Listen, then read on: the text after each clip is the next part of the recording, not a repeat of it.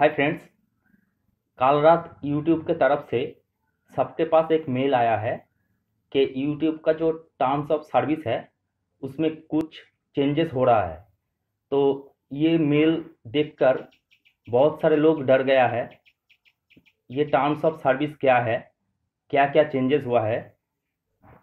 मैं आपको बता रहा हूँ कि इसमें डरने वाली कोई बात नहीं है, क्योंकि जो तीन चेंजेस हुआ है उसमें से दो चेंजेस पहले से ही था, लेकिन उस पर अब ज़्यादा फोकस किया जाएगा। और जो तीसरा चेंजेस है, वो नया है। तो मैं आपको एक बार बता देता हूँ कि वो चेंजेस क्या है। आप एक बार सुन लीजिए और आपको पता लग जाएगा कि ये चेंजेस पहले से ही मौजूद था।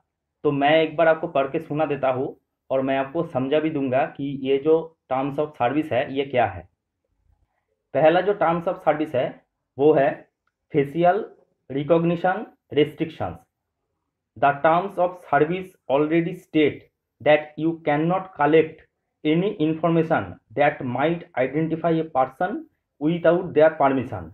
While this has always included facial recognition information, the new terms make it explicitly clear. तो इसका मतलब है आप कोई भी पर्सन का वीडियो या फिर फ़ोटो उसके परमिशन के बगैर आप अपने यूट्यूब चैनल पे यूज़ नहीं कर सकते। तो आपको कम्युनिटी गाइडलाइन स्ट्राइक पड़ सकता है। अगर वो बंदा कम्युनिटी गाइडलाइन स्ट्राइक भेजता है तो अगर उनको पता नहीं चलता तो आपके पास ये कम्युनिटी गाइडलाइन स्ट्राइक नहीं भी आ सकता है। तो आप देख लीजिए, अगर आपको किसी का वीडियो या फिर फ़ोटो यूज़ करना है तो उससे आप पहले परमिशन ले लीजिए, उसके बाद अपने वीडियो पे यूज़ कीजिए। तो ये जो टर्म्स है, ये पहले से मौजूद था, लेकिन इस पर आप ज़्यादा फोकस किया जाएगा। YouTube's right to monetise YouTube has the right to monetise all content on the platform and ads may appear on videos from channels not in the YouTube partner program ये भी पहले से था।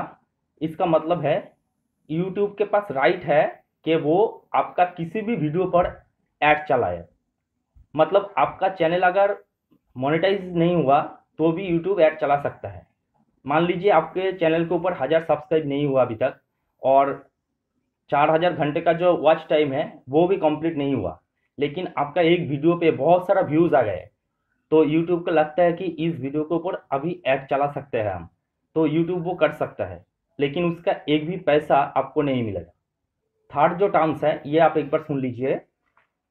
Royalty payments and tax withholding for creators entitled to revenue payments such payments will be treated as royalties from a US tax perspective and Google will withhold taxes where required by law मतलब जो लोग अभी तक tax information नहीं भरा है, वो लोग थर्टी फ़र्स्ट मे से पहले टैक्स इन्फॉर्मेशन भर दीजिए, क्योंकि थर्टी फ़र्स्ट मे जो है वो लास्ट डेट है। और ये जो टैक्स है यूएस के हिसाब से काटा जाएगा और उसके बाद आपको पे किया जाएगा। तो आपके पास अभी खाली दस या ग्यारह दिन का टाइम है तो आप वो टैक्स इन्फॉर्मेशन भर दीजिए। और जितना भी टर्म्स ऑफ़ सर्विस मैंने अभी पढ़ा है मतलब यूट्यूब की तरफ़ से मेल आया है, ये फ़र्स्ट जून से हमारे यहाँ पर लागू हो जाएगा।